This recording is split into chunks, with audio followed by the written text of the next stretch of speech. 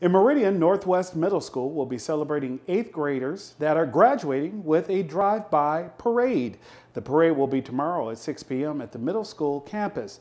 The lineup of vehicles will begin around 545 and they will drive down the front of the school with music playing. The names of students will be called by Principal McCallum and they will be handed a certificate recognizing their accomplishment forward to just celebrating our eighth graders, letting them know um, that we appreciate the work that they've shown throughout the year, um, that it didn't go in vain, even though we're in the middle of a pandemic. We want them to feel celebrated and have closure um, for their time at Northwest. We want them to put a final stamp on it with their family, their loved ones, the faculty and staff at Northwest to show them that we support them and that we love them at Northwest Middle School. Those who plan to participate in the parade are encouraged to decorate their vehicles to help celebrate the class of 2024. Congratulations.